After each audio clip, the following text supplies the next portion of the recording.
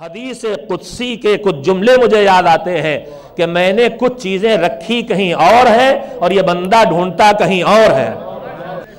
تو استغنا، غنی ہونا، خود کفیل ہونا یعنی آدمی دوسروں کا محتاج نہ رہے، اس کے پاس ایسے وسائل ہوں کہ کسی کا محتاج نہ رہے، غنی ہو جائے، مستغنی ہو جائے۔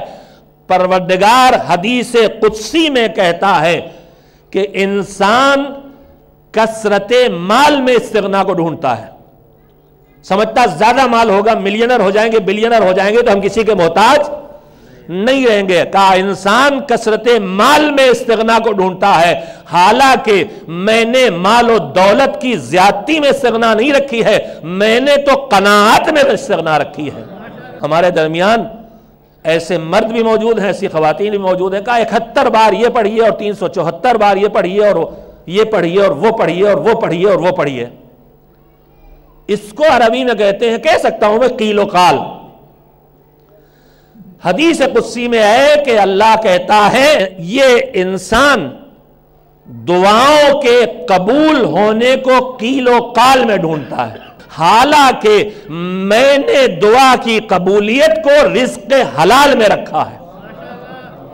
انسان عزت و رفعت کو حکام کے درباروں میں حاضری میں ڈھونڈتا ہے۔ مالک کہتا ہے، جبکہ میں نے عزت اور اسٹیٹس یہاں رکھا ہی نہیں ہے۔ میں نے تو انسان کی عزت کو رات کی تاریکیوں میں، پروردگار کی بارگاہ کی حاضری میں رکھا ہے۔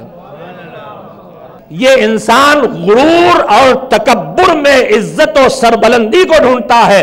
حالانکہ میں نے غرور اور تکبر میں اور اکڑ میں عزت و سربلندی کو نہیں رکھا ہے، میں نے توازو اور انکساری میں انسان کی عزت کو رکھا ہے۔ تم جتنا لوگوں کے سامنے جھکتے چلے جاؤ گے، اللہ تمہیں اتنا ہی بلندیاں دیتا چلا جائے